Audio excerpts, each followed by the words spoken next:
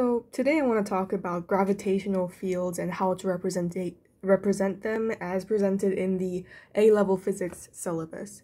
So this is basically a gravitational field. It's very similar to electric field what we saw before. Um, this is a radial field for Earth. This is a uniform field. Uh, it's something that we will experience every single day.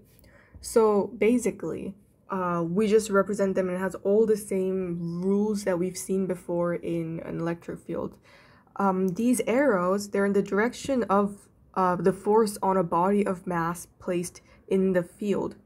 So basically, let's say there was a field created by Earth, and let's say maybe an astronaut was here, the force on him is going to be pointing towards the Earth because out of common sense, he is going to accelerate towards the Earth, right?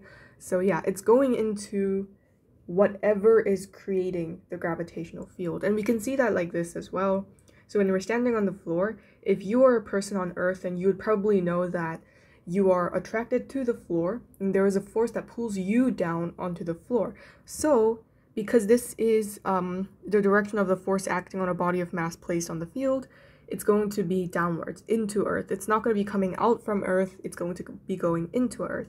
Now, if this was wrong, and if let's say the law was that it was the direction of the force on the body that is creating this field, then it would be a completely different uh, direction, right? So, what is creating the field on Earth is Earth, and so it's going to be in the opposite direction. But no, it is basically the direction of force on the body of mass that's placed on the field, and therefore it is always going into Earth, it's going into the sun. If you talk about the solar system, it's going into the black holes, uh, whatever is causing the field. Um, if the field lines are further apart, then they're weaker, so this is pretty obvious. We can see that in a radial field, the closer you are to Earth, the closer together the lines are, which means the stronger the gravitational forces, and the further you are away from Earth, the further apart the field lines are, and this is why we can prove that uh, the field is less strong when you're far away from Earth. As you are on the surface, this really doesn't matter because you're just so small compared to the radial field lines kind of spreading out over very, very long distances. And therefore, we say that when you're close to the surface of the Earth, we are in a uniform gravitational field because these changes are too gigantic for us on the surface to even realize. And that's why Earth behaves as a uniform field. And, you know, if you go to the 27th floor of your condominium, it's not going to feel, you're not going to weigh any less than you are going to weigh on the ground floor because the, the distance is just so small in comparison to this gigantic radial field. Um, so assume that when you're on the surface of the Earth, we have a uniform gravitational field. Earth also behaves as a point mass, and what that means is that the mass is basically all concentrated as a point. So, um, if we have Earth like this, and uh, this might not be true for, for example, uh, things that are on the surface of Earth. But when we're talking about, you know, this is the moon, and we're talking about the force that they're exerting on each other, when we have we have to treat like how gravity works, we will always put Earth and the moon as well as a point mass. And so if we were to draw field lines like this, you know, like that, and obviously it would be going into Earth because the moon is attracted to the Earth Notice how we were drawing them from the center point of the Earth. That is because Earth is behaving as a point mass for objects beyond the surface of the Earth. And for objects on it, we can literally just treat it as a uniform field.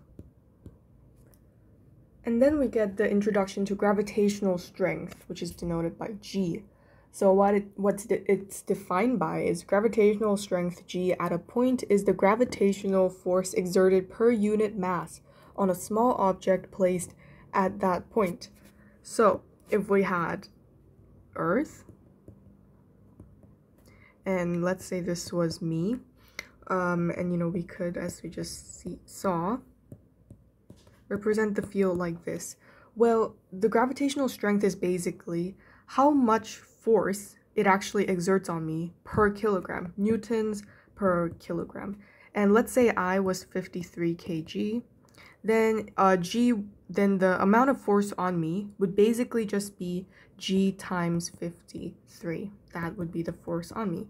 So uh, it is common sense from this definition that the the definition of G would basically be force divided by mass. Um, the G of the Earth is 9.81 newtons per kg, as we've probably already seen before. We know that force, as we've seen in the previous video, um, is basically gmm divided by r squared, and g is a universal gravitational constant.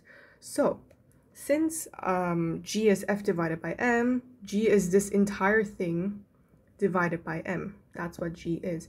And we can cross this out, right? This is the smaller body that is being attracted by the field. This is the mass of the bigger body that is creating the field, aka this is Earth for us. Um, and therefore we can get this very simple equation of g is gm divided by r squared. So we have seen that this gravitational strength does not depend on your own mass, it does not depend on the body that is attracted, but it only depends on the body that is creating the field, the mass of the body that is creating field, the separation from that body, which is also inversely proportional, um, which is why we can say that the further you are away from Earth, the weaker the gravitational uh, field is. And it also depends on this G, which is, it might be different if you go to a different universe, right? But within our universe, this is all the same. A few things to note is that g is not a constant. As I've said before, it will obey an inverse square law with distance, so the further you go away from it, the lower it becomes, and actually becomes lower by, you know, a square of how much you've gone further away with distance. g has units um, kg divided by meter squared. kg divided by meter squared. And this also equals uh, meter per second squared. Why is that? It's because acceleration is, um, oh, hold on, sorry. This is um, n divided by kg.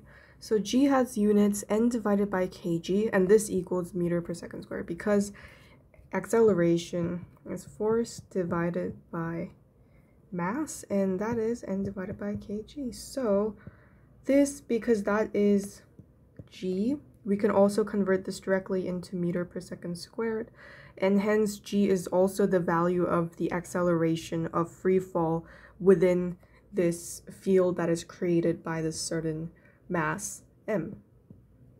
And so that's it for gravitational fields and also the gravitational field strength, which is denoted by this curvy g. Thank you for watching.